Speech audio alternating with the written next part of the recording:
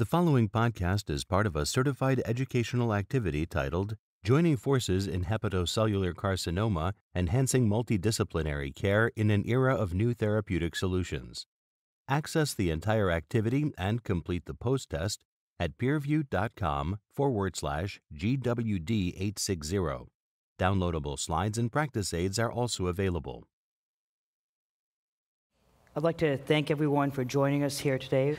Um, I'm honored to be part of an excellent panel here with uh, Dr. Llovet, Dr. Zhu, Dr.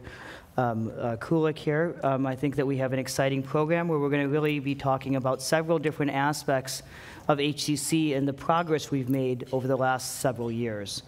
And so we're really going to jump right in and we're going to talk about um, first line selection, treatment sequencing, and the important role of the hepatologist um, as we make treatment decisions for HCC.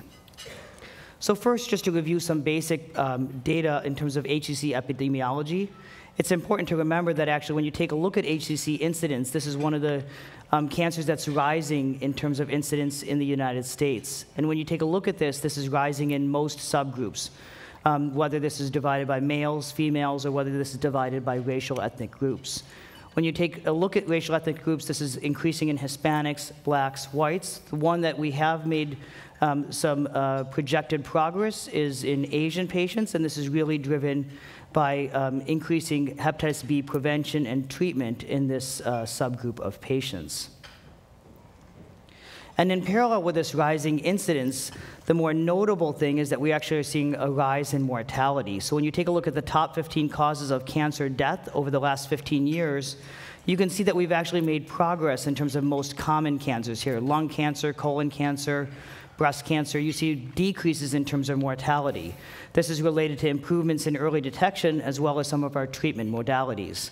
However, over that same time period, you can see increases in terms of pancreas and brain cancer, but by far leading the way is an increase in mortality for liver cancer. And so this really highlights the need for better early detection as well as better treatments.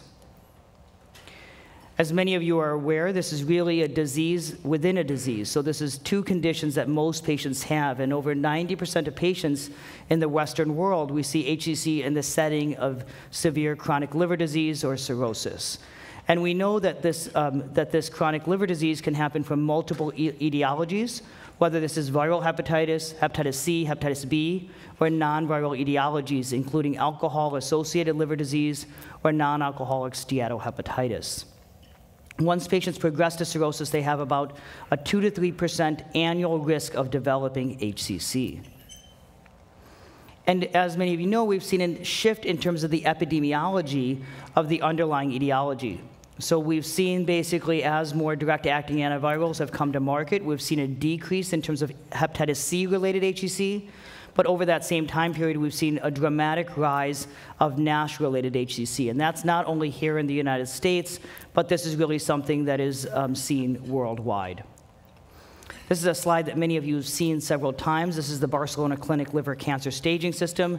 And I think that this really gives us a framework in terms of how to at least start making treatment decisions for HCC. And I think one of the key things to point out here on this slide is that if you're found at an early stage, we continue to have curative therapies available with local ablation, surgical resection, and liver transplantation.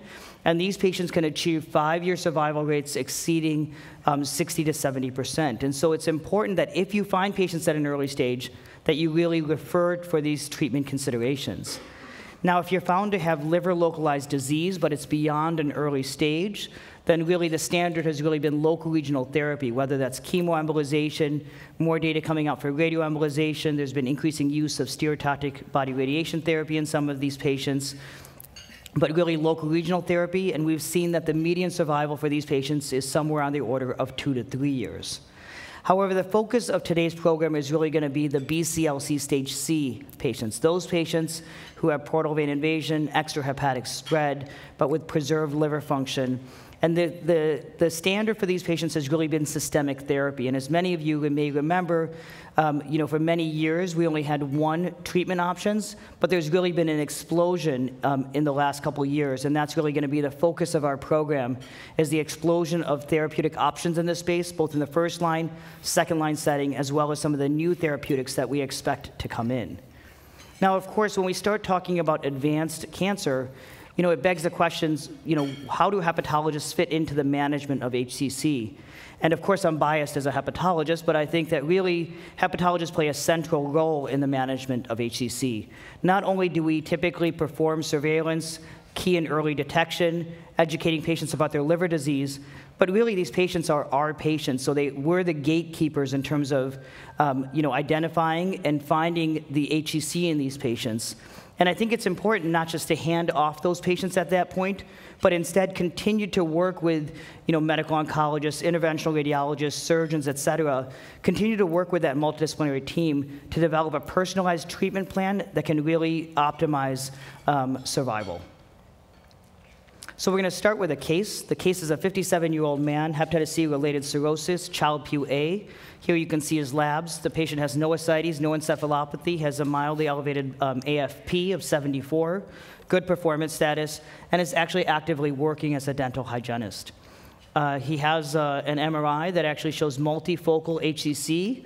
Uh, the, the HCC has arterial enhancement, delayed washout, is consistent with HCC, but the patient also has right portal vein tumor thrombus. And so when you, when you think of um, uh, treatment options approaching this patient, really this patient strictly falls into the BCLC stage C uh, category. And the two treatment options that are recommended, both in terms of AASLD and EASL guidelines for this patient, um, really is sorafenib or lenvatinib. And when you take a look at the level of evidence, both of these are supported by large phase three randomized studies and therefore have a strong recommendation to be considered um, as a, a treatment option in patients with advanced HCC.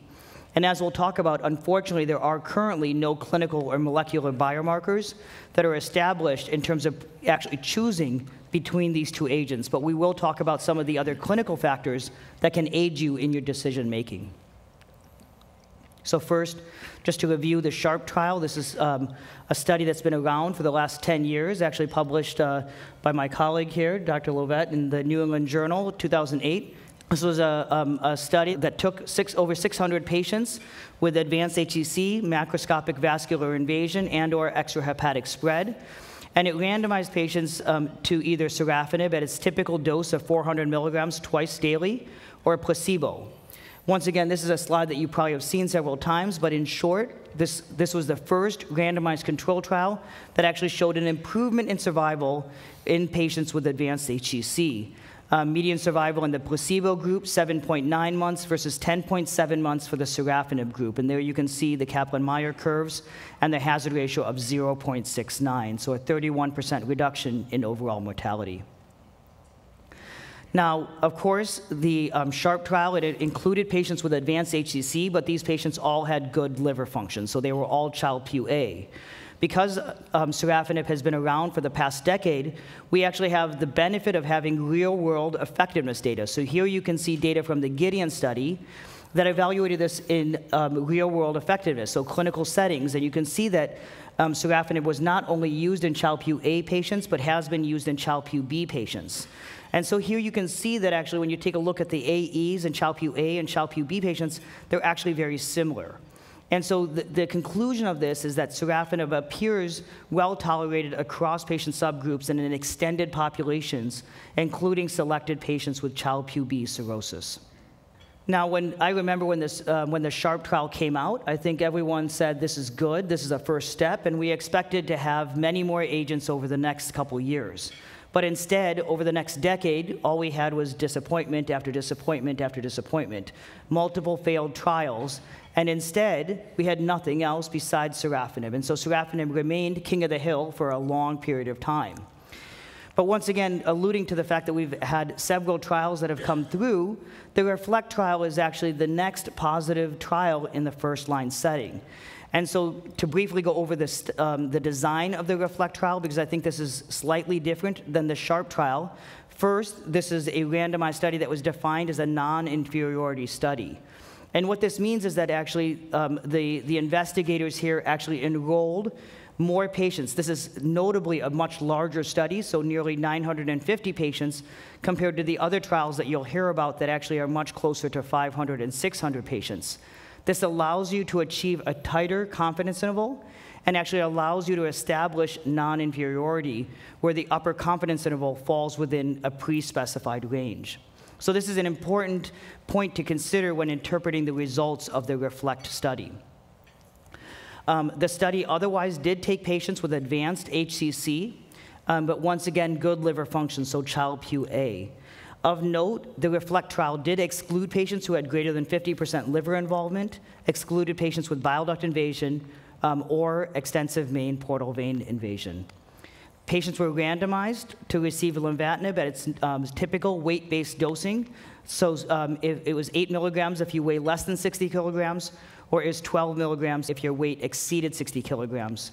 Um, and then the other group was randomized to receive sorafenib, once again at its typical dose of 400 milligrams twice daily. Primary endpoint of this trial was overall survival. And here you can see, once again, the main results, the primary outcome of the study.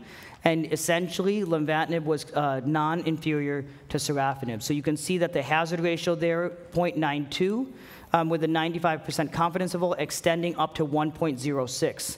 And that's why I think it's important to remember that this was designed as a non-inferiority study. So even though the confidence interval passed one, it's okay because the 95% confidence interval was below 1.08, i.e. the pre-specified outcome to establish non-inferiority. You can see that the median survival in lenvatinib group was 13.6 months versus 12.3 months for sorafenib. Now, even though the two um, uh, agents have similar survival, there were secondary, there were se several secondary endpoints that were pre-specified that I think are very interesting. The first is progression-free survival, and here you can see that lenvatinib um, doubled progression-free survival compared to sorafenib. So uh, median progression-free survival in the lenvatinib arm was 7.4 months versus 3.7 for the sorafenib, with a hazard ratio of 0.66. And even more notable is the response rates that you can see with lenvatinib. And so you can see here whether you do this by mRECIST, i.e. the degree, like the amount of arterial enhancement, or by RECIST, i.e. the size of the actual tumor, uh, whether this is a cavity or arterial enhancing. You can see that the responses with lenvatinib are, are, are much higher uh, with lenvatinib than with sorafenib. So by mRECIST, you see actually responses in the lenvatinib arm that exceed 40 percent compared to 12% for sorafenib. And likewise with the RECIST 1.1, you can see that the responses with lenvatinib are just short of 20%, right at 18.8, compared to 6.5 for sorafenib. So three times higher in the lenvatinib arm, no matter how, which um, uh, uh, response assessment you used. Now, when you take a look at the adverse event profile, I think it's important to remember that the AE profile for both of these medications, both these medications are TK, TKI, tyrosine kinase inhibitors, and so they actually have the same possible adverse events. The most common you can see highlighted here in red boxes hypertension, decreased appetite, decreased weight, uh, hand foot skin reaction, and proteinuria. But the thing that's worth noting is that the proportion of patients who experience any of these AEs does differ between the two groups. And so what you can see here is that actually the hypertension is significantly higher with lenvatinib than it is with sorafenib. You can see that the constitutional symptoms of having decreased appetite, decreased weight, also more notable with lenvatinib than sorafenib. You can see proteinuria with lenvatinib um, that typically is um, uh, rarely seen with sorafenib. However, you see significantly lower rates of hand-foot skin reaction with lenvatinib as compared to sorafenib. Other AEs such as diarrhea and fatigue are pretty similar between the two agents. So overall, how do we do this? I, I, started by saying that we unfortunately don't have any great biomarkers that help us you know, really decide between the two agents. So it's not like you can simply check a blood test or you know, anything on the biopsy that would really drive you to choose sorafenib versus lenvatinib. But instead, we, we're forced to use some of the clinical differences in trial design, as well as some of the differences in terms of um, you know, efficacy and AE profile. And here what I've highlighted in red um, at least in my opinion, are some of the differences uh, that can help you make decisions. So, first, in terms of inclusion criteria, I did discuss that the REFLECT trial excluded patients with greater than 50% liver involvement, main portal vein, tumor thrombus, and bile duct invasion. So, you can argue that you have less data for lenvatinib in these patient subgroups. Now, it's important to note that an absence of data doesn't mean an absence of efficacy. By no stretch am I saying that lenvatinib doesn't work in these patients. It just means that we currently have less data in those patients. Next, you can see in terms of efficacy, we talked about that these agents really give you um, similar survival. I think all of us would agree that this is by far the most important outcome for both providers and patients. However, in terms of secondary outcomes, you did see um, substantially higher response rates um, with lenvatinib than sorafenib. And then I just reviewed the differences in terms of AE profile, and you can see a summary here on this slide. But I think that these differences in AE profile can help decide between these two agents in selected patients. Both of these are given orally, they're taken daily, but there is some subtle differences in terms of logistics in the sense that sorafenib has to be removed from food, whereas lenvatinib can be taken with or without food. So some of these minor differences can help in terms of patient ease and maybe patient adherence. And finally, I talked about the Gideon data giving us uh, real world effectiveness data, particularly in extended patient populations, including Child-Pugh B cirrhosis. And so, personally, I would feel more comfortable in terms of currently using sorafenib in a Child-Pugh B patient um, while awaiting more data for, for, for, for lenvatinib in, in uh, patients with, uh, with worse liver function. So going back to our, our patient, our 57-year-old male with hep C cirrhosis, uh, once again, you'll remember that he's Child-Pugh A, he has good performance status, he's actively working. And when we think of what would be appropriate treatment options for this patient, um, I think that um, you really, once again, are left with these two agents in terms of lenvatinib and sorafenib. And I, I, think maybe, once again, I'm not saying there's a right answer here. I think that you could say that you have some concern about hand-foot skin reaction, um, since he's actively working as a dental hygienist, works, uses his hands on a regular basis, and so you may be more likely to use um, in this patient population, or in this specific patient. So um, even more exciting um, in, in terms of the advances that we've seen in the frontline setting, I think the, the, the great thing that you're going to hear about over the next section is really uh, that we've had an explosion of options in the second line setting. And so um, without stealing uh, Dr. Llovet's thunder, I'm, I'm just going to say that we've seen several agents. You can see them listed here, regorafenib, cabozantinib, ramucirumab, as well as the checkpoint inhibitors. And so you're going to hear data in terms of all of these potential agents that can be used. But I do think that overall, having these multiple lines of therapy does highlight the importance of transitioning, following these patients on therapy and transitioning at the appropriate time. Now, we've had a lot of things that have been answered in terms of HCC management, and we've had a lot of advances. But I think in the setting of advances, then there's a lot of questions in terms of how do we actually implement this in our clinical practice. So, as I said, it's important to transition at the right time. But of course, the question is, what is that right time? But I think that we all can agree that we do have to transition from local regional therapy to systemic therapy to give these new agents um, a, a potential to actually improve patient outcomes. Of course, the next thing that you're going to hear about is how do we actually sequence these patients? Like, what is the appropriate first line? What's the appropriate second line agent? What gives you the best outcomes? And I think, once again, this is a quickly evolving field, and I think that there's um, a lot more questions right now than there are answers. Questions of patient selection, a need for biomarkers to actually um, be more intelligent in terms of how we select between um, different treatment options. Local plus systemic therapy is really an exciting area as well that has a lot of investigation um, and a frontier that uh, really needs uh, further investigation. So I think there's a few moments to answer a couple uh, questions from uh, the audience, uh, and then we'll move to the second uh, talk. So one of the first questions we see, what is the reason for the discrepancy between overall survival and progression-free survival in the REFLECT trial? So I'll tell you, you know, this has been um, somewhat of an enigma in terms of, you know, the, you would think that if you see significant, um, you know, there should be a tight association between response and progression-free survival um, with overall survival. But when you take a look, if we even go back historically and you take a look at sorafenib, sorafenib was able to prolong um, survival with actually, without actually inducing responses. And so there's clearly a lot to be learned in terms of the, so this link between progression-free survival and how well it links to overall survival. So Josep, you recently had a paper that actually yeah. looked at this association, has now established a cutoff that may be able to better link progression-free survival and overall survival. I'll let you briefly remark on that, on that very, paper very as well. Very shortly, so I would say that um, progression-free survival is um, uh, hits first let's say. So the trials in which you have overall survival positive, always you have progression-free survival positive, but doesn't happen the other way around. So you have several trials. We analyzed 21 trials in front line and second line. And um, out of those, seven have positive progression-free survival, but only four have overall survival. And then when we check the hazard ratio, so the potency in the different in progression-free survival, the hazard ratio below 0.6 was indicating always benefit in survival. Whereas patients, for instance, in the case of the reflect trial that the hazard ratio is 0.66, in fact, there are no differences in overall survival. The hazard ratio is 0.92.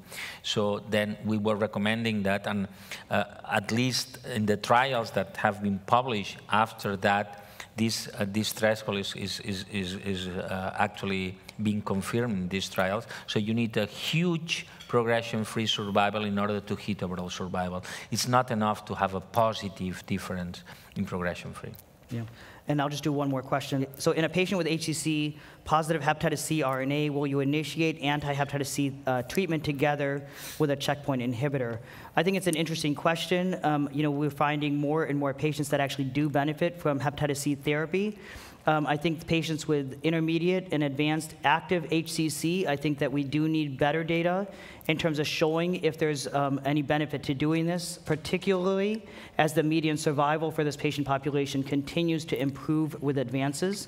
And so this is um, an area where we're starting to see some data come out. There are ongoing studies which I think will help better um, evaluate this question. The data that are available show that patients who have achieved SVR and then are treated with the, these agents subsequently, it doesn't mean actively treating them right now with advanced HCC, um, but um, those patients tend to do better than patients with active viremia.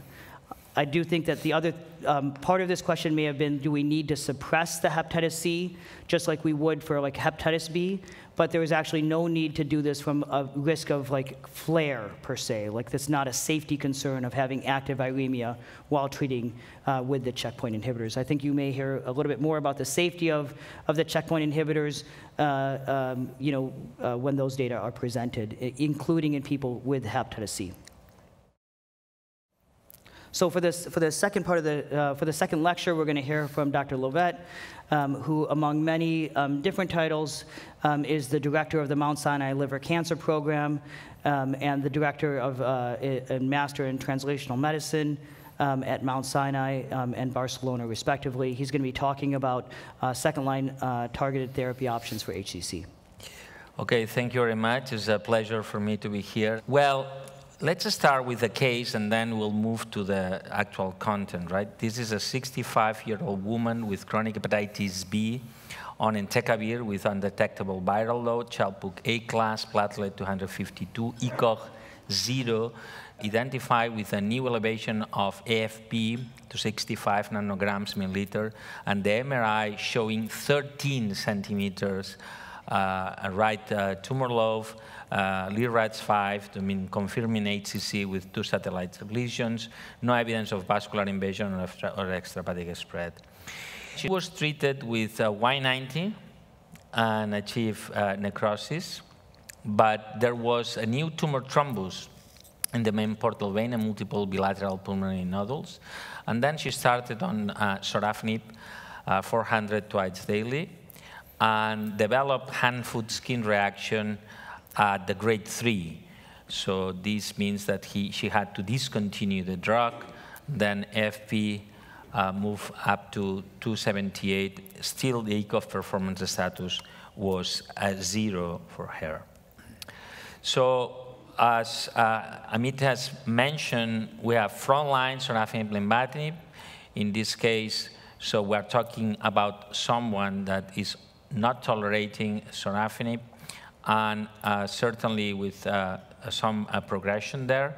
And we have in second line regorafenib, cabozantinib, and ramucirumab, that these three treatments have been shown to show survival differences compared to placebo.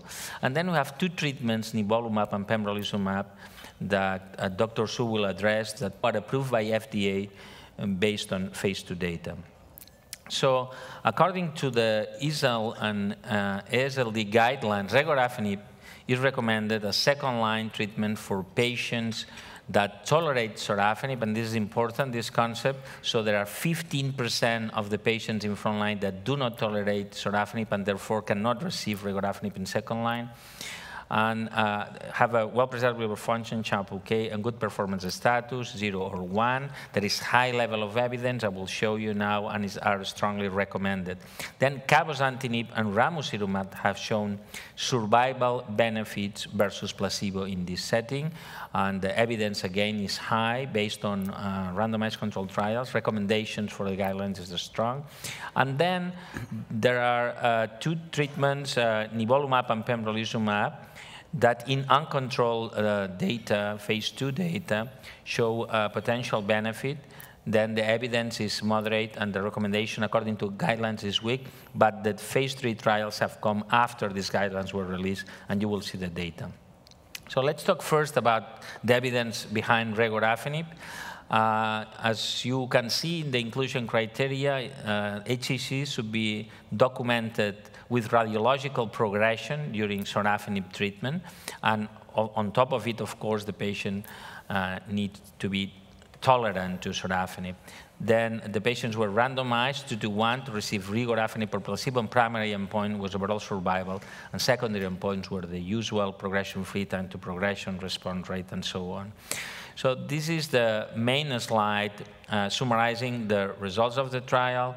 10.6 month median survival for regorafenib, 7.8 months for placebo, and a hazard ratio of 0.63, so the drug is able to decrease the risk of death in 37%. And I have to say, it was surprising to see this strong effect, considering that regorafenib in reality uh, has a, a, a, structure and is targeting more or less the same drivers than sorafenib. Uh, here you have the subgroup analysis. Regorafenib benefits uh, almost all subgroup of patients compared to placebo, uh, including uh, uh, patients with high AFP, and also, interestingly enough, patients with hepatitis B and patients with hepatitis C, less so compared to sorafenib. In terms of uh, treatment emergent adverse events, uh, the classical ones that were expected that are known in colorectal cancer for regorafenib and similar to those that uh, uh, happened with uh, sorafenib, hand-foot skin reaction, 13% grade 3, and then hypertension, also 13%, anorexia, 3% compared to placebo. And this was an interesting approach. Also, we need to be cautious here.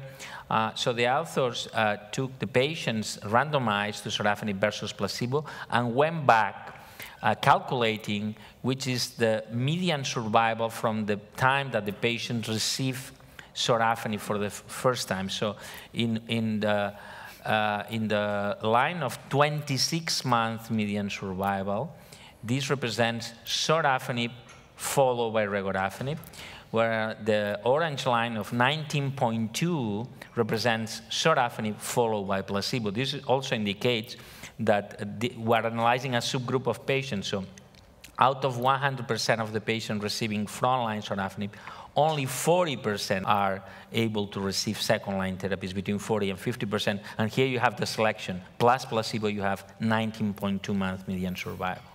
So let's talk about celestial trial, cabozantinib versus placebo uh, after sorafenib. So the, the, the inclusion criteria were the classical ones, advanced HCC, Child-Pugh A class, ECOG 01, prior sorafenib, or progression uh, on up to uh, two prior uh, uh, therapies. So the patients were randomized to cabozantinib, that is a drug, is a multikinase inhibitor that is blocking VEGF, platelet derived, the classical ones, even type 2, but also it's blocking MET signaling. And in HCC, there are only 3% mutations or amplifications of MET, but 50% of the patients in front line and 60% of the patients in second line have activation of MET. And this is uh, the important, right? So primary endpoint was overall survival, secondary endpoints, progression-free, and objective response and rate. So here you have the results of the trial, 10.2 months median survival, and placebo is always around eight months uh, in, in second line. The hazard ratio was 0.76 with a p-value of 0.005. So therefore, this drug was approved for use in patients with advanced HCC previously treated with sorafenib as per January 2019. Also, when exploring secondary endpoints, here again, so with this message of progression-free survival, look at the hazard ratio was 0.44, certainly far, far below the 0.6 that we think that is the threshold to indicate uh, overall survival benefit. And in the subgroup analysis, I would highlight first that patients with extrahepatic spread or macrovascular invasion uh, seem to benefit uh, more from cabozantinib, hazard ratio 0.73, and also patients with hepatitis B virus, hazard ratio 0.69. In terms of adverse events, grade 3, 4, here uh, we are showing that hand-foot skin reaction also is very prevalent with cabozantinib, 17%, hypertension 16%, increased ST 12%, fatigue 10, and diarrhea 10%. And there were grade 5 treatment-related uh, adverse events, six cases with cabozantinib as a result of all these circumstances. So the question is, what are her treatment options. We have regorafenib, we have cabozantinib, we have ramucirumab. Regorafenib, the patient did not tolerate sorafenib in frontline. You remember that the patient developed hand-foot skin reaction grade 3. And with ramucirumab, I haven't shown the data yet, so we have that uh, is only indicated with patients uh, with aggressive tumors defined as AFP more than 400. So in this case, seems that cabozantinib will be the treatment of choice. We have a case here. This is a 62-year-old man with hepatitis C virus, cirrhosis, and also metabolic syndrome with diabetes, uh, complicated with uh, nephropathy and hypertension, Child-Pugh A, AFP 152, ECOG performance status zero, MRI show uh, three lesions, the largest with six centimeters, and hepatic vein thrombus. So with a patient with hepatic vein thrombus, I will not treat the patient with, with TACE, but nonetheless, patient was treated with TACE and then developed disease progression, including adrenal metastases, for instance, and other types of metastases. I started on sorafenib 400 milligrams twice daily, and, and then had stable disease and AFP decline to 120, and then developed rising AFP again and progression in adrenal nodal and rib metastases with an AFP of 948 and ECOG performance zero. So it's a patient that somehow tolerate well sorafenib, but certainly the disease progress on sorafenib. So again, so we have these options, as I mentioned before, and I already talked about the RESORCE trial, regorafenib, the evidence behind that. So already talk about cabozantinib. Let's talk a bit about ramucirumab. So ramucirumab, I would say, is the only drug that we have approved that in reality is doing somehow, it's, it's really precision medicine in a sense that is blocking only uh, one uh, kinase, so, uh, uh sorry, one receptor, VEGF receptor 2. And all the other drugs are multi-kinase inhibitors, sorafenib, regorafenib are blocking around 40 kinases, the same lenvatinib and cabozantinib. So ramucirumab is a monoclonal antibody against one receptor.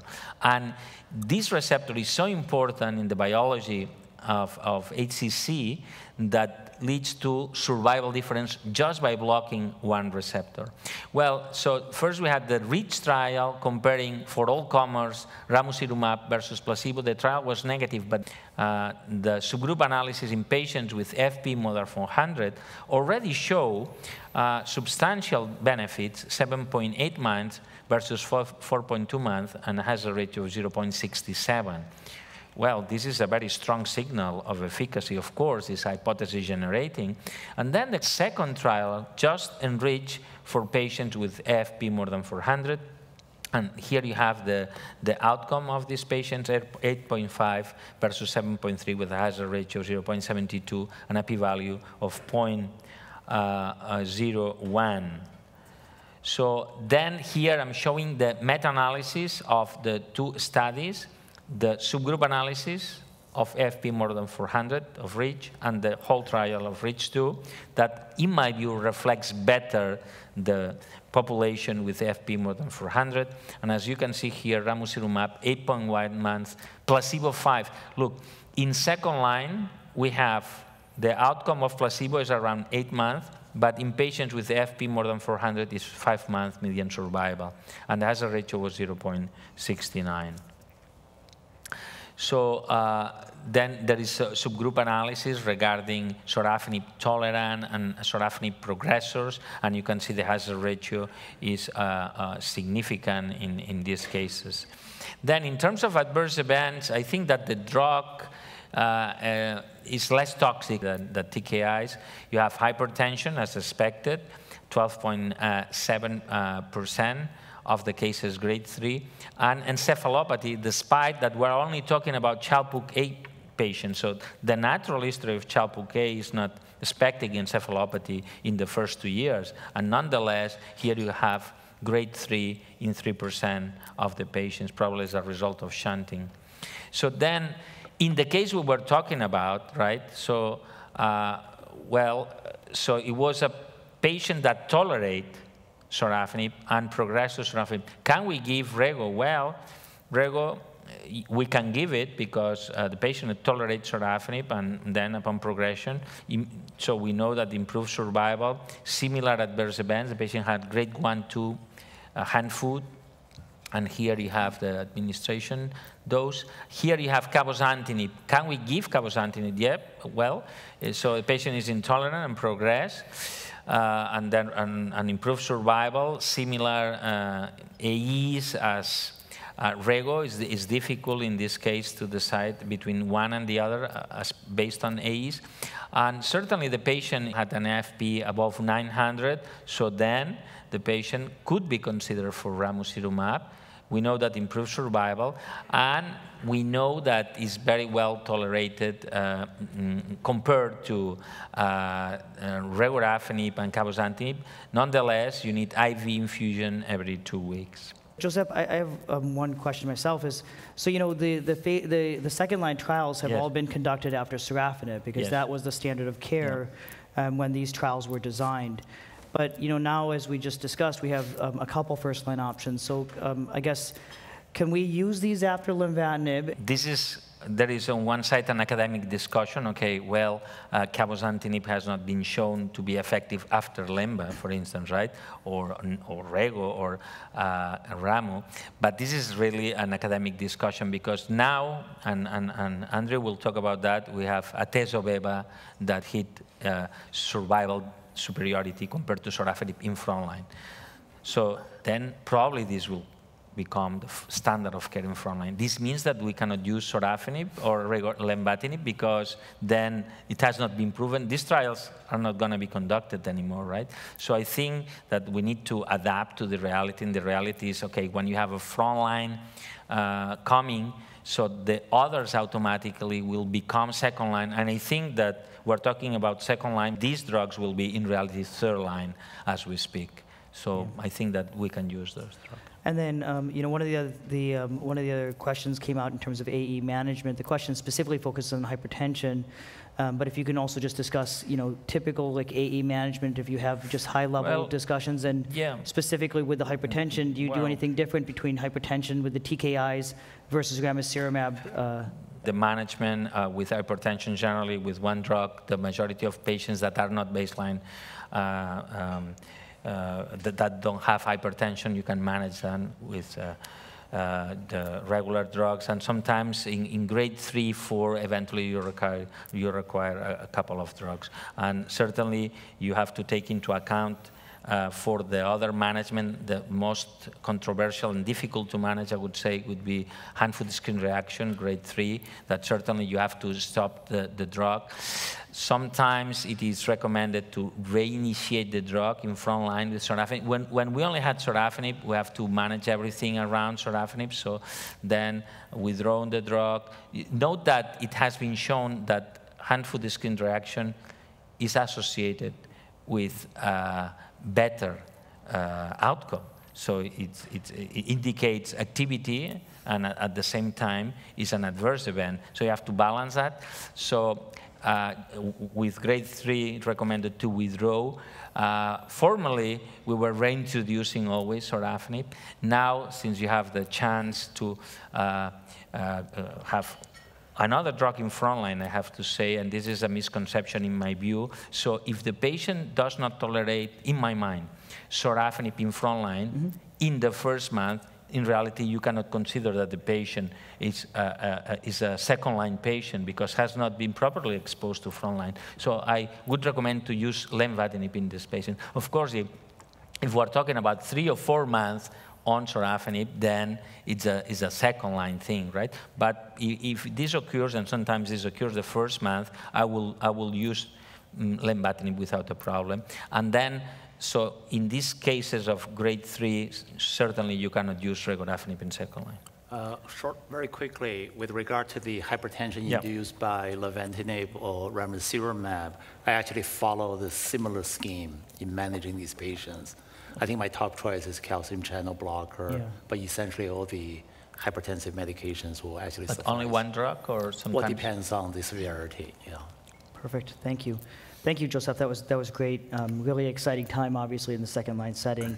And as you said, with some of the advances that we're going to hear about soon with the Tiso-Bev, question is, do these um, potentially move into the third line? Um, so the next uh, talk that we're going to be hearing about is uh, from Dr. Zhu um, who is Director Emeritus of the Liver Cancer Research Program um, at uh, Massachusetts General Hospital. He's going to be talking to us about checkpoint inhibitors, emerging strategies on combinations, and new modalities. Thank you, Andrew. Go ahead. Thank you, Amit. Uh, as the only medical oncologist on the podium, uh, I feel the privilege of sharing some of the development in the checkpoint inhibitor field. Uh, let's start with the case. This is actually a 65-year man with hepatitis C and was treated uh, with direct-acting antiviral therapy two years ago. He presented to his primary uh, medical office with right upper quadrant pain and was found to have 8 centimeter mass with satellite lesions in the right lobe. And the lesion was actually hypervascular with delayed washout. Uh, he, the tumor was also showing portal vein invasion. Laboratory value was notable for platelet count of 95, bilirubin 1.2. Uh, the rest of the labs was actually fairly unremarkable. His tumor marker, AFP, was at 78 nanogram per ml. And on exam, no ascites, no encephalopathy, and ECOG performance status 1. So his staging definitely did not show any evidence of extrahepatic disease, uh, but due to the presence of vascular invasion, he was classified as BCLC stage C, and he was rightfully started with sorafenib at full dose, 400 milligram twice daily. He did go through dose reduction after three weeks, mainly due to fatigue, weight loss, anorexia. And he was able to continue the treatment for four months, but then eventually showed evidence of disease progression. And he's showing evidence of disease in the left lobe, as well as increased size of the mass in the right lobe and the extension of portal vein invasion. So I guess the question is really what to do if you see a patient in this scenario. So we all know that the treatment for hepatocellular carcinoma is evolving very rapidly. Uh, you just heard you know, from Dr. Llovet about the development of, of target therapy. But having said that, you know, the checkpoint inhibitor or immunotherapy development in this disease is definitely catching a lot of excitement. And right in 2019, uh, we actually have two FDA-approved agents in the second-line setting, nivolumab, in the setting of underlying Child-Pugh A, or B7, and another agent, pembrolizumab, uh, in the setting of underlying Child-Pugh A. And I will review the data in a minute. But as you can see, uh, these are not the only two drugs. Uh, we actually have additional clinical investigation looking at the combination of this class of agents, either with other checkpoint inhibitors or actually with uh, tyrosine kinase inhibitors or anti-angiogenics. We also have other PD-1 uh, antibodies, like tislelizumab is another PD-1 antibody being investigated in the first line as monotherapy. Camrelizumab, another PD-1 antibody, is being investigated in, in the context of combined with apatinib, another TKI, with a VEGFR2 inhibition. And then we have two PD-L1 antibody, durvalumab and atezolizumab. And these two drugs are also investigated in the first-line setting. For durvalumab, It's actually tested in combination with tremelimumab, a CTLA-4 antibody. And with the atezolizumab being investigated both in the setting of combined with cabozantinib as well as with bevacizumab.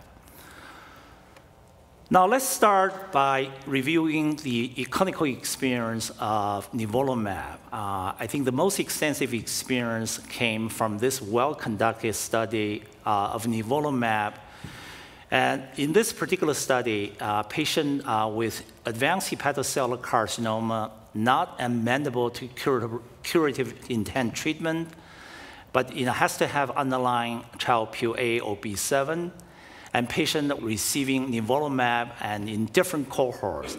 The first cohort undergoing dose escalation and then dose expansion, and with different underlying etiology.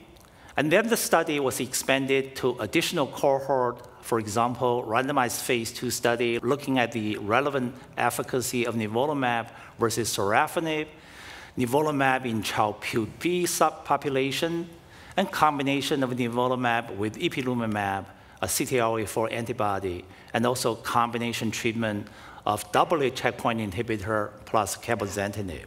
So this is a very ambitious trial that actually led to a lot of very, very useful clinical information. The first thing is really the clinical efficacy of nivolumab in different subgroups. Shown on this slide is that patient uh, with uninfected cohort, sorafenib naive population, or uninfected cohort, sorafenib progressor, either, or either uh, with underlying HCV or underlying hepatitis B infection, you can appreciate that nivolumab produce a radiological responses between 14% up to 23%.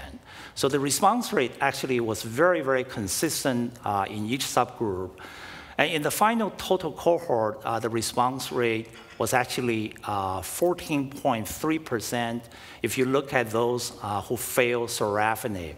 And for that reason, uh, the FDA actually gave the accelerated approval in this agent, for this agent, and also the packaging insert quoted 14.3% as the expected response rate. If you look at the adverse events, I think you know, when this agent was first examined in patients with hepatocellular carcinoma, one of the concerns is actually patients with underlying viral etiology. So there was actually a concern whether this class of agent were actually having the viral flare in this patient population. So the investigators actually proceeded very logically uh, from patients without underlying viral infection and then look at patients with underlying hepatitis C or hepatitis B. But as you can appreciate, there was really no viral flare observed in either the HCV or HBV subgroup. And the rest of the safety profiles were actually very favorable, particularly for grade three and above events that were actually in the single digit range. So this is actually uh, overall, you know, more favorable uh, compared with what you just heard you know, from the safety profiles for TKIs. But having said that, you know, this class of the agents you know, does have the immune-related adverse events that actually uh, warrants very close monitoring when patients receiving this class of agent. So with the encouraging data in the phase two setting, and particularly the durable responses that these patients experience uh, with nivolumab, I think the logical question is really trying to get a sense whether the agent will improve the overall survival in comparison uh, with a standard treatment, in this case, sorafenib. So the study was actually designed to address this question. Patient with advanced HCC, uh, not eligible for conventional treatment, preserve underlying hepatic function, treatment naive, uh, were randomized to receive either nivolumab or sorafenib, um, with the primary endpoint being overall survival. And this study uh, is really uh, one of the studies that we, the whole field you know, has been actually uh, really expecting for quite a long time. And the study finally got presented at this year's ESMO meeting. As you can appreciate that the study has matured uh, with all the events uh, being shown, uh, but unfortunately, the median survival was actually 14.7 months in the sorafenib arm versus 16.4 months for the nivolumab, with a hazard ratio of 0.85 and the p-value 0.07. And so this definitely uh, did not actually meet the statistical significance. If you examine the Kaplan-Meier curve, both for the overall survival as well as the progression-free survival on the right side, you do actually appreciate that the curve seems to be actually separating towards the end of the tail of the curves, but having said that, you know, I think the study uh, should be considered as a negative study, statistically speaking. And also, I should emphasize the drug definitely did not improve the progression-free survival. But consistent with CheckMate 040, the study recapitulates the response data that we have seen earlier. So it actually has 15% overall response rate for nivolumab and 7% in sorafenib. And the median duration of this uh, response uh, was also uh, very respectful for the nivolumab arm at 20, uh, 23 months. So, uh, you know, clearly this was actually the first agent being examined in HCC. But then, you know, we have the second PD-1 antibody, pembrolizumab. Again, uh, initially this was examined in a cohort of patients of 104 uh, with different underlying etiology. And in this study, uh, we recapitulate that this drug also produced 17% of the objective response rate, but more importantly, the response quality was also very good. These patients experienced durable responses. Uh, in this cohort, uh, the duration of response was actually not reached at the time of the analysis. So for this reason, uh, FDA also granted the accelerated approval for pembrolizumab based on this data. The safety profile was actually incredibly comparable to what we have seen for nivolumab. Again, single-digit grade 3 and above events. The immune-related AEs were actually uh, very rare, and there was really no viral-related flare in, uh, in the 224 uh, study. So the next critical study, uh, pivotal study, uh, was really examining pembrolizumab in comparison with placebo in patients who actually failed the standard sorafenib treatment. So this was actually a very ambitious study looking at approximately 400 patients, two-to-one randomization, and patient will either receive the standard dose pembro versus placebo, based on the Kaplan-Meier curve, uh, you definitely appreciate that the curve uh, separate very quickly, but then stay separate throughout the treatment course. And then, you know, the median survival uh, was improved from 10.6 months in the placebo arm to 13.9 months in the treatment arm with pembro, with a hazard ratio of 0.781 and a p-value of 0.023. So pembrolizumab reduced the risk of death uh, by 22% in this study. But on the other hand, this actually did not meet the pre-specified uh, threshold for statistical significance. Uh, it has to be actually reaching uh, 0.0174. And likewise, uh, the drug also improved the progression-free survival uh, you know, in this particular trial. So uh, with these two single agents showing uh, the very, very interesting response data, and obviously this has actually uh, has generated a lot of excitement. How do we actually combine this class of agents you know, with other drugs? I think the first approach that we have taken uh, is really to combine the PD-1 antibody or PD-L1 antibody with other checkpoint inhibitors. I think the mature data is only limited uh, with a combination of CTLA-4 blockade. So here you see uh, the cohort from 040 looking at nivolumab with ipilimumab combination. Uh, the investigators actually tested different dose schedule of ipilimumab, 3 milligram per kilo every three weeks, 1 milligram per kilo every three weeks, and also 1 milligram per kilo every six weeks. Without going through the details, uh, you can definitely appreciate that the doublet checkpoint blockade can actually produce response rate in the range of 30%. And also the duration of the response also very respectful at 17 months. Interestingly, for arm A, which is actually combining ipi at a higher dose, 3 milligram per kilo, the median survival for this cohort of the patient at 49 patients with very long follow-up, reaching 23 months.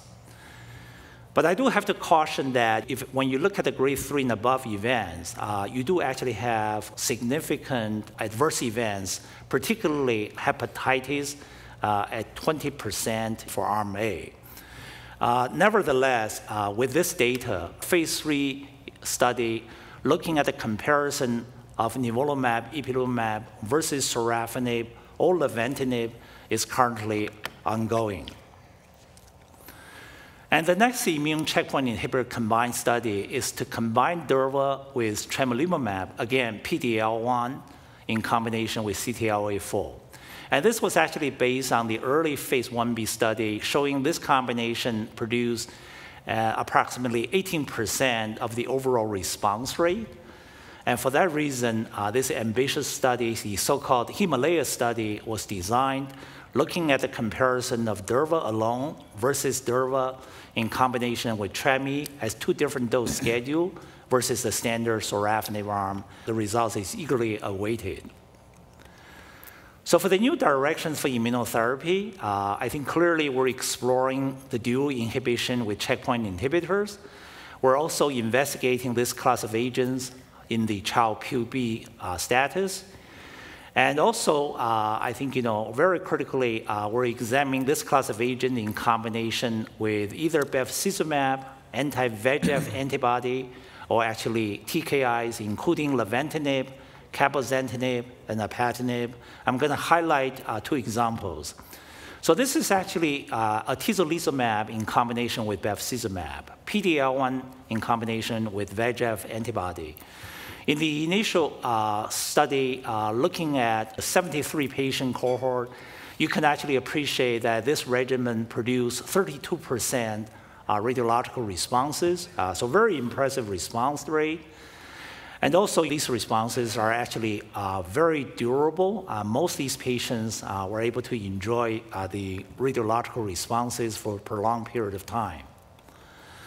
And the safety profile generally are actually manageable, even though in the early stage, uh, there were definitely a significant number of patients in experiencing uh, grade three and above events. But overall, the regimen was thought to be manageable and there were actually extended clinical experience with this combination, uh, both in terms of uh, in the randomized phase two setting, looking at atezobev versus atezolizumab, or continue to expand the cohort up to 104 patients.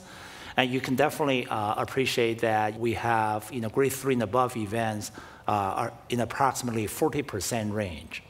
But nevertheless, we're able to demonstrate this combination is better than atezolizumab in a randomized phase two setting. And while these studies are ongoing, uh, the phase three trial were actually designed looking at this combination against the standard sorafenib uh, in a one-to-one ratio.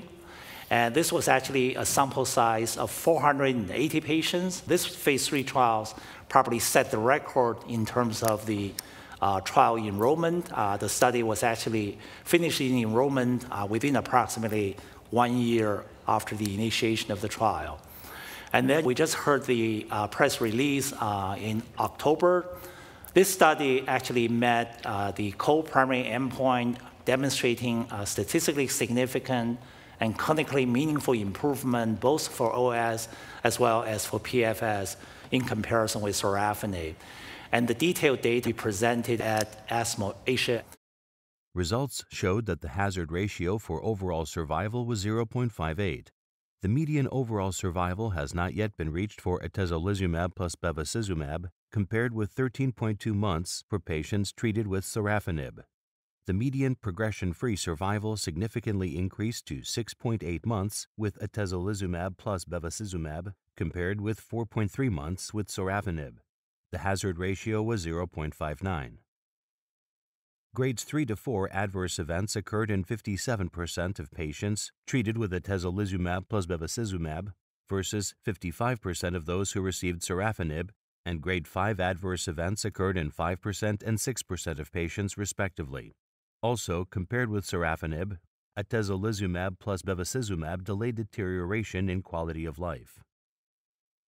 So I think you know the results from this pivotal study will be actually paradigm shifting.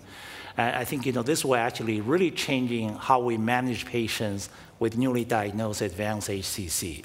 Another very interesting combination of lenvatinib with pembro.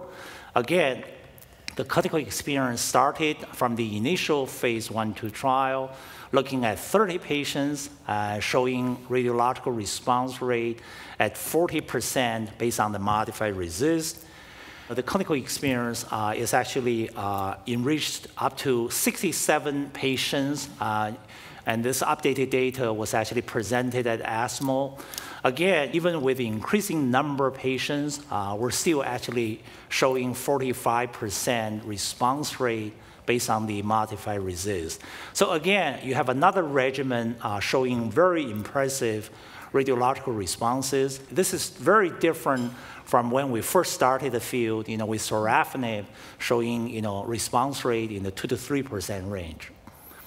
So with this data, the phase three trial looking at the combination of lenvatinib, pembro, versus lenvatinib is currently ongoing. Uh, you know, the results are also eagerly awaited.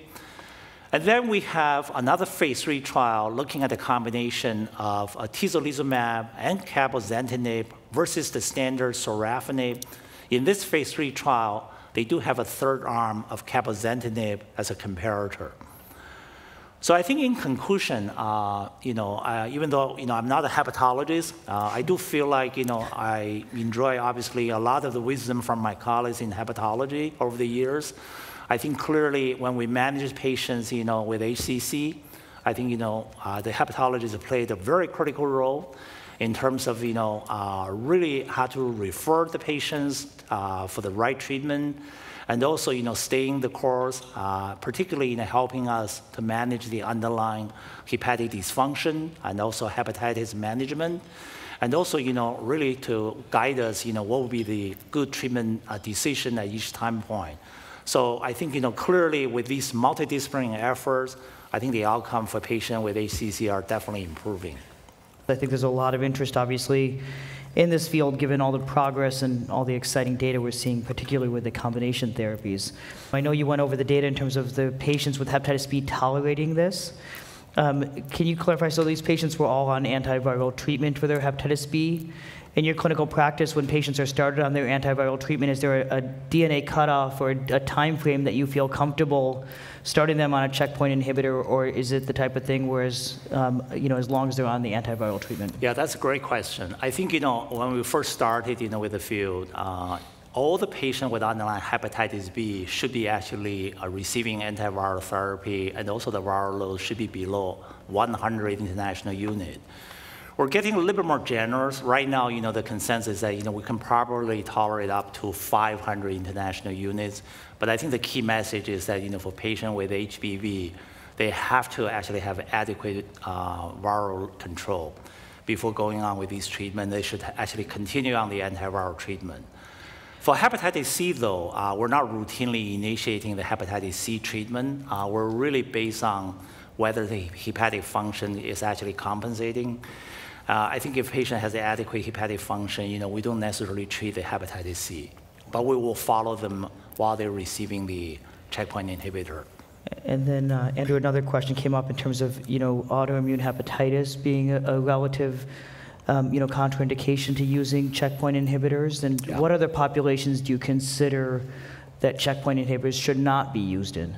So um, this is actually obviously you know, another very critical question. Uh, so I do think that this is actually highly variable depending on the severity of the autoimmune disease that you're seeing.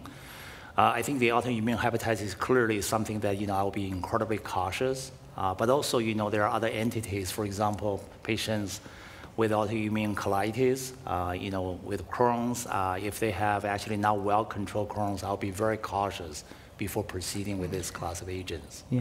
And I think another patient population that's really worth pointing out is anyone who's post-transplant. And so there's been really data that shows that um, if checkpoint inhibitors are used in a post-transplant patient, this is associated with high rates of graft loss and even death. And so at least the, the case series that I've seen shows a 50% chance of graft loss, about a 20 to 25% chance of death.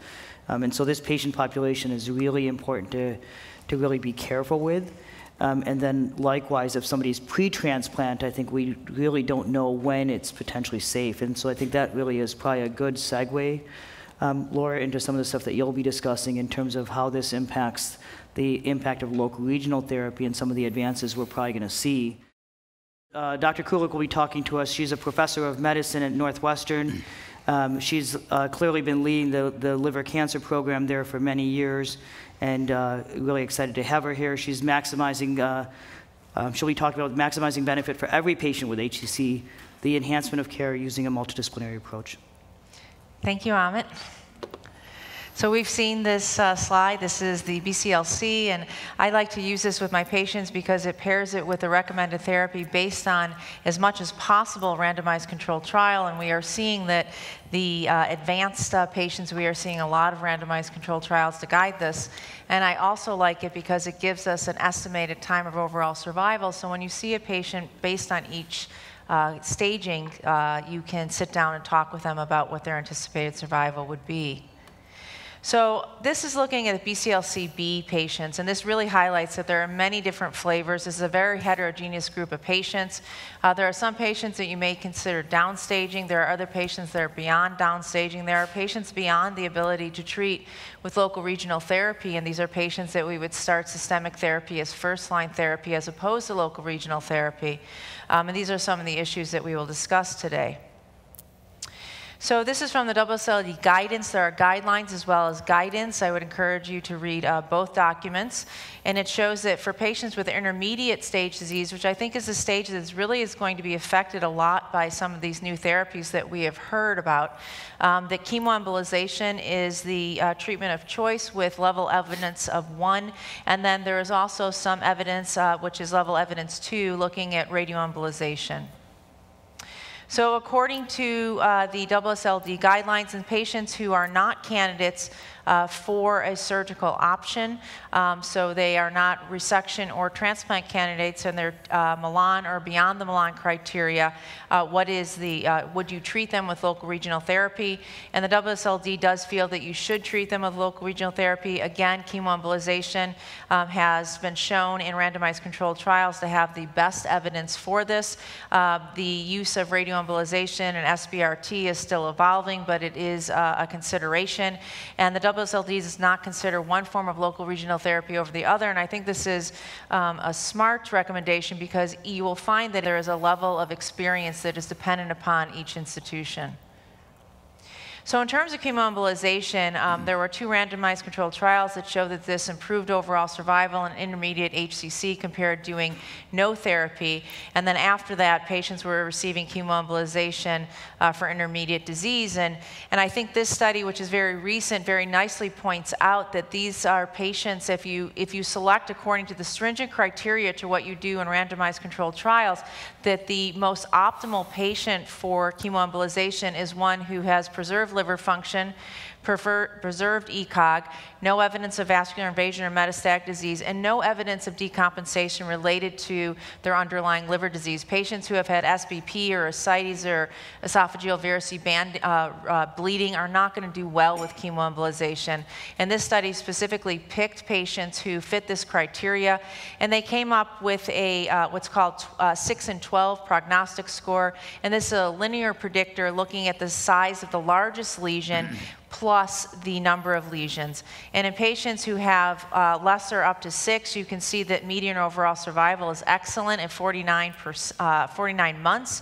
However, as you increase tumor burden and greater than 12, this decreases to 15.8 months. So really highlighting that selecting the most appropriate candidates for this therapy will lead to uh, improvement in overall survival. There has been uh, movement in terms of SBRT. Um, there has been retrospective trials that have looked at this compared to ke uh, chemoembolization and has found that there is improvement in local tumor uh, control. However, there's no difference in overall survival. There have been meta-analysis that have looked at the combination of chemoembolization plus external beam radiation and have found that this leads to improvement in overall survival compared to patients treated with monotherapy TACE. And there are ongoing trials looking at patients who have received chemoembolization who do not show a complete response based on imaging, who will be randomized to SBRT versus receiving concomitant chemoembolization. So I will uh, again go to the BCLC staging system, and we know that patients, the natural history, if you cannot cure them, that most of these patients are going to have stage migration, and then we'll be talking about advanced disease and some of the therapies that we have heard about. However, I will submit to you that there are patients who, with local regional therapy, that we can transition these patients from an intermediate stage to a early stage where we can potentially perform uh, a curative option. So we all know that transplantation offers the best chance for long-term cure. This is due to the fact that we remove the cancer as well as the underlying cirrhotic liver, which can kill the patient from complications. But there are patients who are beyond what were called the Milan criteria, which are used as our selection criteria in the United States since 1996 for transplantation. However, there are patients that we see that you can downstage and will achieve the best um, improvement from transplant, even more so than patients with earlier disease. And we'll talk a little bit about this. So from both AASLD as well as EASL, there has been support that in patients who are carefully selected for downstaging, who are downstage to meet the Milan criteria, the transplantation should be a consideration in such patients. So downstaging, the premise of this has really been the use of local regional therapy to biologically stage patients with tumor beyond their tumor size and number. And there are multiple factors that are um, seen in this. I won't go through all of these, but the goal is really to get patients to a curative option, which would be transplant or resection. And this kind of goes nicely with a recent change in the governing body of transplantation. And a lot of this was uh, as a result of Francis Yao and UCSF, who has driven uh, the data for downstaging. And OPTN has recognized that in patients who are successfully downstaged, that such patients can have a very uh, uh good overall survival with transplantation. And there has to be a ceiling for tumors. So this is where you can start from. So if you have a patient with a 20 centimeter tumor, this is not someone that you're going to try to downstage. And if they are successfully downstage based on the enhancement of the tumor within the Milan criteria, they can now receive a standard MELD exception for HCC, which no longer has to go through a voting process in order to receive points as an exception for transplantation. Um, so we have, you know, the exception points is, is really to get patients to transplantation is the goal with downstaging. However, there have been many different um, uh, areas that have looked at beyond Milan, can you transplant patients, such as UCSF, there's Asian criteria. I think the, the more commonly one that is talked about is called the Metroticket. Um, this was done by Dr. Mazzaferro, and very recently they um, added the AFP to this, and what you can see is the higher the tumor burden, this is a uh, uh, a combination of tumor size and number, so up to seven. So you can have a single lesion up to six centimeters to give you a summation of seven. And as the tumor burden decreases in terms of tumor size and number, there is an increase in AFP that can be allowed. And they modeled this to look specifically at HCC related death uh, post transplant. And you can calculate this using a calculator looking at tumor size, number, and AFP that will give you a five year overall survival post transplant. So we know there are patients who meet the Milan criteria who have very high AFP. When you look at all the transplant data, the one thing that has borne out time and time again in these, uh, and in these multivariate analysis in terms of overall survival is what the AFP was closer to the time of transplant. And in patients who have an AFP exceeding 1,000, they have a very dismal prognosis. Up to 50% of these patients will have HCC recurrence, and the most common cause of death in such patients is their cancer.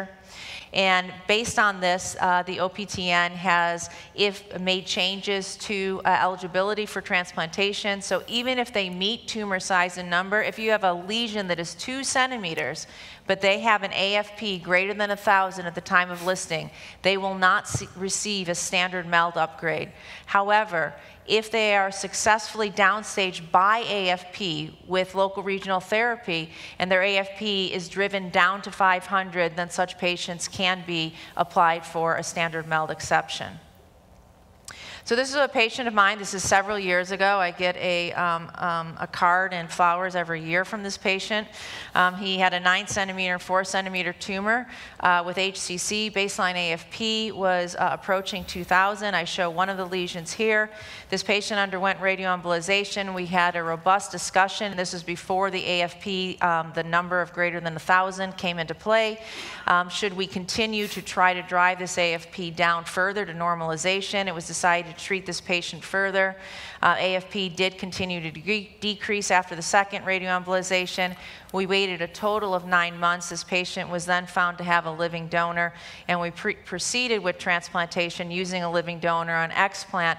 Uh, this patient met the Milan criteria. There was no vascular invasion, and this patient is now actually eight years post transplant and has had no evidence of recurrence. So, using both the AFP decline as well as the radiographic response to determine that this patient would be a transplant candidate.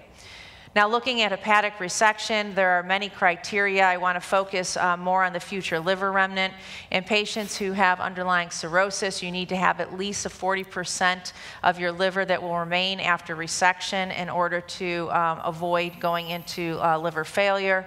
So there are some patients who meet the criteria in terms of not having significant portal hypertension, but based on the strategic location of that tumor, you have to do an extended hepatectomy or a right lobe, and that patient may not have enough liver based on their future liver remnant. And, and kind of by happenstance, it was found that when we were doing radioembolization, that we found that not only did this treat the tumor, but we were finding that there was hypertrophy of the opposite lobe. And so we have seen that patients start to demonstrate this as soon as one month, and this will continue up to nine months. And this has now become what we will do in a patient who otherwise is a good resection candidate, but their FLR is not large enough. We'll treat the tumor and then wait and see if their uh, future liver remnant increases to greater than 40% to allow them resection. However, the problem is, is we still have underlying cirrhosis, which will lead to increased risk of recurrence um, and therefore um, patients uh, will need to continue to be followed. And unfortunately, there has not been an adjuvant therapy that has been found to decrease recurrence. It will remain to be seen in such patients who have been treated um, with hepatitis C drugs. If they have had a resection, one would expect that their re uh, recurrence rate would decrease. Um, there was the STORM trial looking at sorafenib. Unfortunately, this did not demonstrate a decrease in recurrence after resection or ablation. There are many trials that are ongoing. I will highlight some of these. Um, this is looking at nivolumab uh, versus placebo after resection in patients who have undergone high risk uh, resection based on their explant. There is also uh, looking at adjuvant pembrolizumab uh, compared to placebo. And then lastly, there is a three-tier trial looking at Durva plus Bev versus Durva plus placebo uh, versus placebo. And if we can find a combination or therapy that decreases recurrence post-resection, uh, this would be well uh, welcomed. So now let's look at transitioning. When do we transition? I think this is a very important question, and, and I think this depends on a case by case basis. Uh, but now that we have more and more drugs, this becomes much more relevant. We have seen in the RESORCE trial that just in Child-Pugh A, 5 versus 6 made a big difference in the subgroup analysis in terms of overall survival. So the longer you wait and you continue to treat patients with local regional therapy or they have progression of their tumor, there can be decompensation and there therefore they may not achieve as much of a benefit with the systemic therapy. So the other considerations are when is a patient considered TACE refractory? And this has been debatable.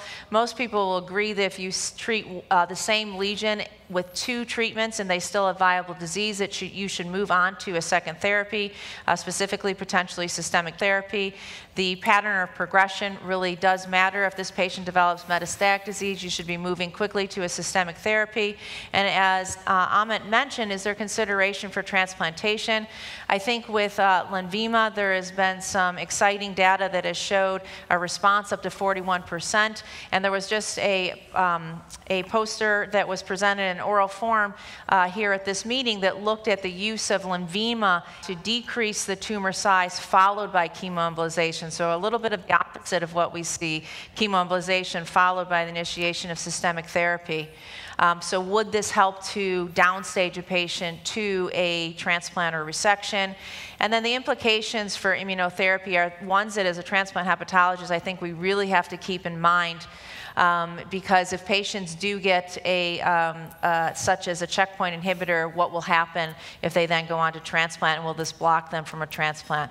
There's a lot of rationale for combining um, therapies with local, regional, and systemic. The thought is that local, regional therapies may show the tumor's kind of biology, show its antigens, so that immunotherapy may work uh, in a better, effective manner.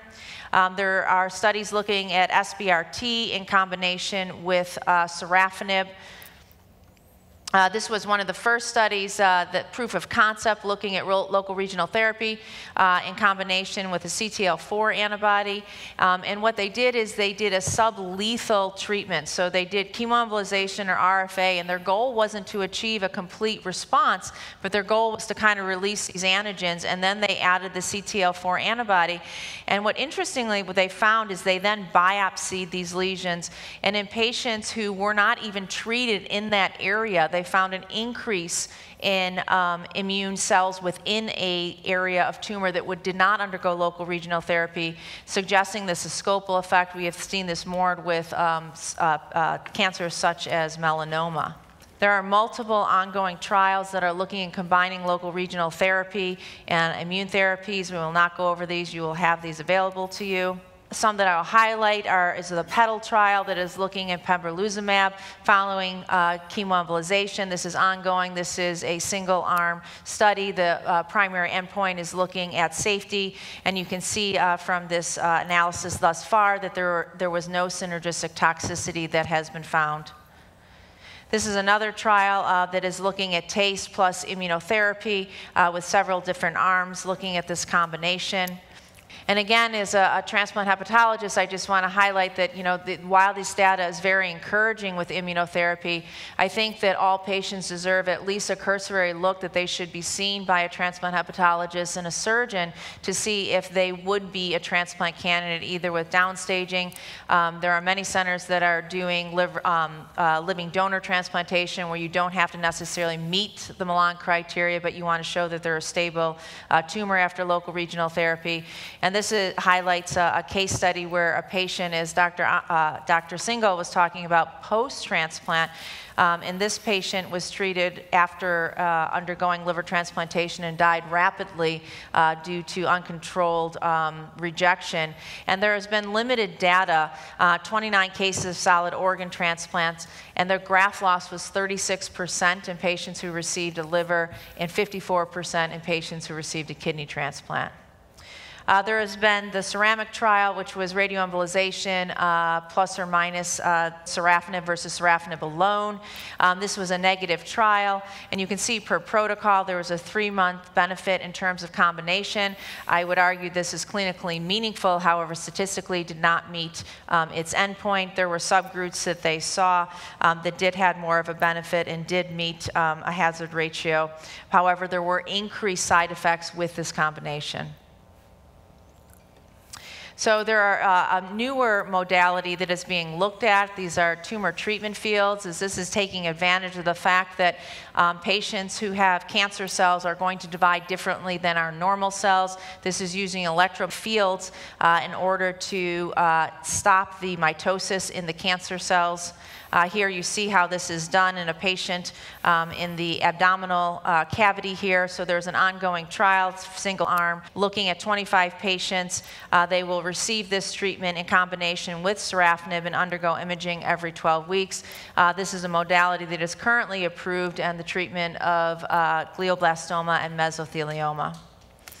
So as a hepatologist, as uh, Amit had said, I think that these are our patients. We're the ones who generally are following them for a long period of time, and I think we need to maintain a very important role in managing these patients, despite the fact that um, there has been a development in these IV formulations.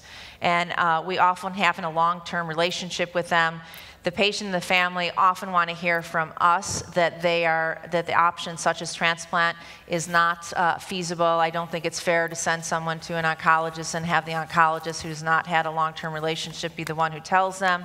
There are complications of portal hypertension uh, that we are best managed to to handle. We need to make decisions in terms of should we treat their hepatitis C, and it's important that when we first see these patients, and I know that I do myself, I start discussing with them that the, the future is that they will eventually go on a systemic agent, and I think it helps them digest this a lot better.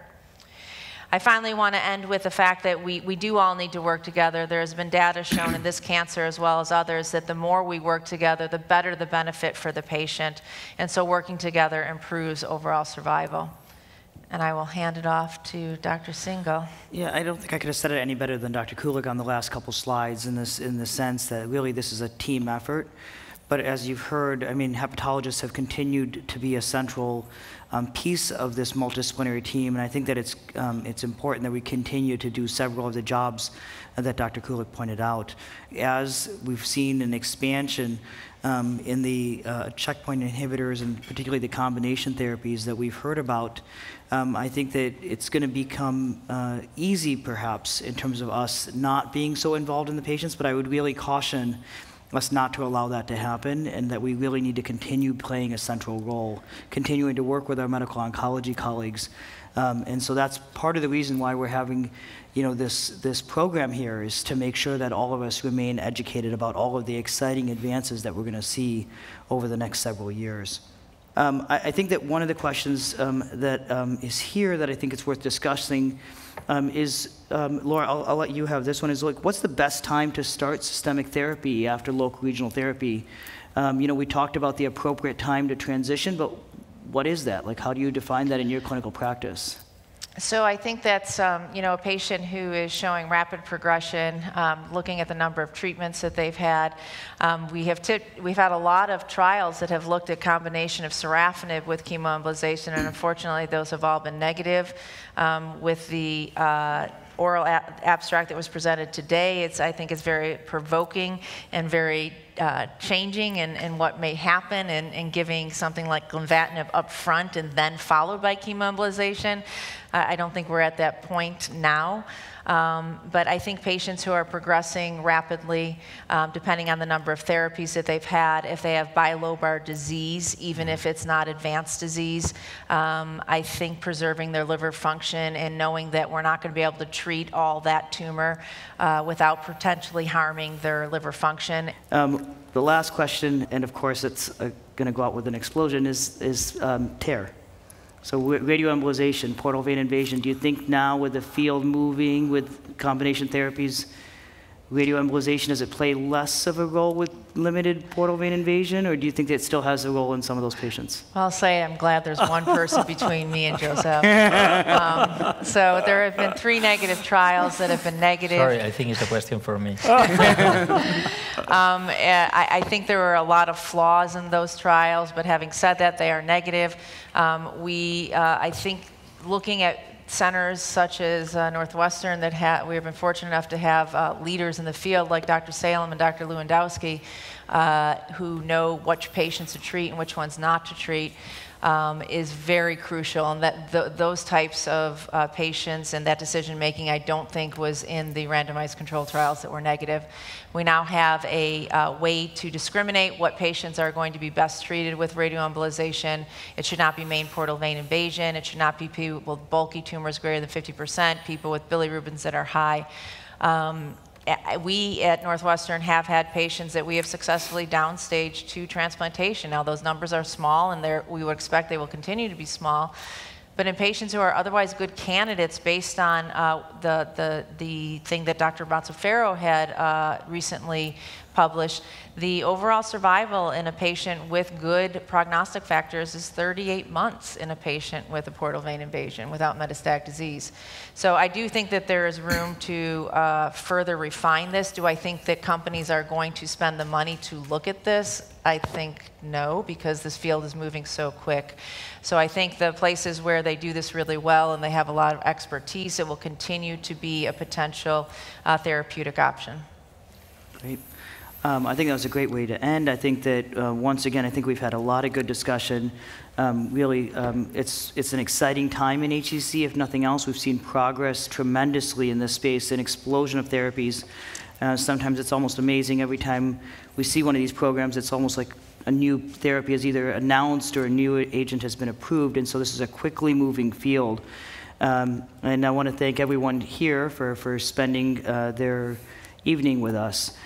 This activity has been jointly provided by Medical Learning Institute Incorporated and PVI, Peerview Institute for Medical Education. Thank you for listening. Download materials and complete the post test for instant credit at peerview.com forward slash GWD 860. This educational activity is supported by independent medical education grants from Eisai Incorporated, Exelixis Incorporated, Genentech, Lilly, Merck & Company Incorporated, and Novocure. For further information concerning Lilly grant funding, visit www.lillygrantoffice.com.